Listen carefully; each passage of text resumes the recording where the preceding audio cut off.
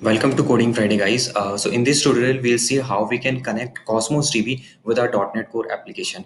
So now you can see I'm already on a very important file, which is appsetting.development.js, and this is a file where we're gonna provide the connection string of uh, our Cosmos DB. So in my previous video, I already created the uh, you know the Cosmos DB. These are the you know series uh, we are into so we have seen what is NoSQL database, what is Cosmos DB, and we also created one a dummy Cosmos account and then created the collection and the document. But all of uh, all of things we have done uh, using the portal itself. So uh, I would recommend you guys to see uh, or watch those videos first before continuing here. And this is the website of Coding Friday where you can uh, you know see all those our GitHub links and all the mandatory things which you might require while doing the practical implementation can uh, fetch all those stuff from here. Also you can this is the github url you will also find the link in the in the description as well. So the code which we are uh, you know gonna do in a bit is all already available in the in in this url okay so let's first start with the with the practical implementation. This is the key section as we have discussed already. So just copy this primary key here and put here in the uh, account url and this is the auth key and also there is a secondary key. You can use this secondary key if your primary is not working but most of the cases we always use this uh, primary key. And then thereafter the third thing is which is the cosmos db demo. Your database id just paste it here okay fine. So whenever you are making any changes in the .NET Core application you have to you know rebuild the application. Only build won't work because until you won't do the rebuild it will not fetch the latest uh, app setting and will, will not put into the uh, you know bin folder. So we have done. Now the second thing is uh, we have to write a uh, adapter. You can say which gonna uh, connect our, our .NET Core application with the Cosmos DB. This is similar uh, like you used to uh, work in the in the in the SQL Server with the ADO.NET where we have the uh, couple of methods for connecting with the database and you know reading from the table. The same we have. So the first thing is uh, let me open this data access folder in the utility. Uh, we have the iCosmos connection string in what we have one method which is just reading the uh, data database id endpoint url and auth key from the from the app setting where we have just you know provided so let me just run this application and meanwhile I'll be discussing about the mandatory things you have to do. So this was the, sorry. Okay, so this was the first thing you have to provide this, uh, the connection string, of course. Then the second thing is here's a dependency which is a NuGet package. You have to download microsoft.azure.cosmos document db so this is the second thing which you have to do. And after this you maybe you can use this these two classes automatically. And they are uh, they are com common and uh, you can say more generic.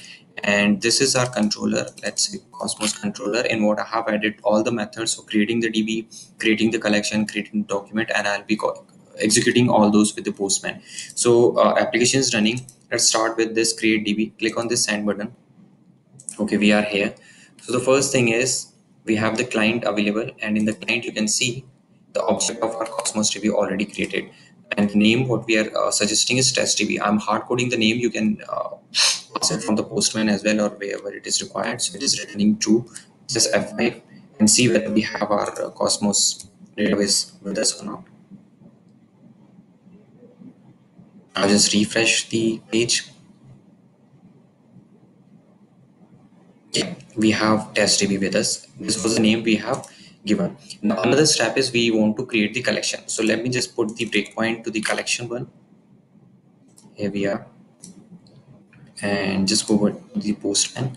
Click on this create database. So uh, just come here. This is our database name. I think we have already created no props it checks it actually create database if not exists and if already exists it not gonna recreate. So this is the create collection in what you are providing. Two things. One is the db name and then the collection name. So in our case db name is test db and the name of collection is test collection. Again you can make use of this create document collection if not exist which is async. And now come back. Let's see do we have our collection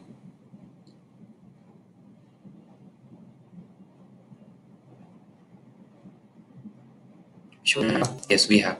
Now the third step is we have to you know add the uh, document inside this. So just come here. This is a create document.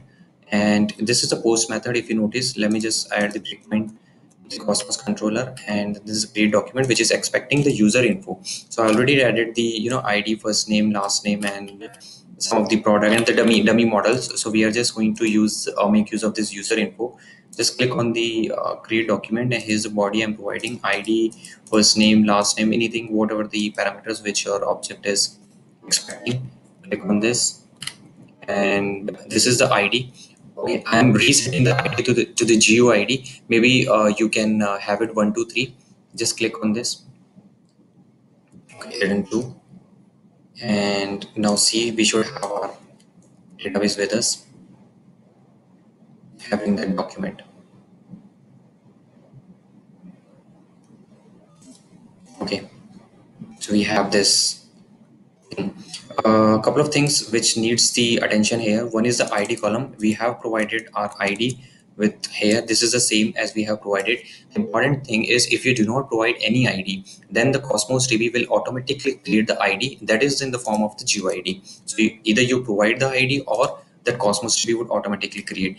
And this is the first name and the last name, the two properties which we uh, already have in our uh, object, user object. Then RID, self, ETAG, attachment, TS. We will see all of them one by one. What is the use of them? Out of which one is very important, which is the ETAG property. And this is the property which comes into the picture when you are handling the concurrency the value of the etag each time you know updates whenever there is there is any update in the in the uh, collection in the in the document. So we'll see in in detail what is etag and how we can handle the concurrency. So this was the uh, you know creation of the document and now we'll see how we can get this object. And to get this object we again have a one method which is this one get database and just call it using this get. We should have the collection yeah. First name but any this was viewer expected and then the last one we have to cover today which is the delete one. And delete one which is expecting any id so let me just provide the id so let's come here. So this is our id just copy this and provide here. Okay fine. Let's click on the send. We should have the id here f11 created the collection and we ask this to delete the document which we just created. Just go back, refresh this. Now we should have nothing actually because we have deleted the document. You can see we do not have any uh, inside. So this was the .NET Core application to connect with Cosmos DB. I have shared this code on the GitHub as well. You can make use of direct. Uh, you can directly make use of this code, or uh, you can you know copy from this uh, tutorial as well. So uh, thanks for watching this. In the next tutorial, we'll cover the ETAG property, which is another important one, and then uh, we'll cover the throughput. And also we have to see all this happening with the with the local emulator as well. Thanks for watching this.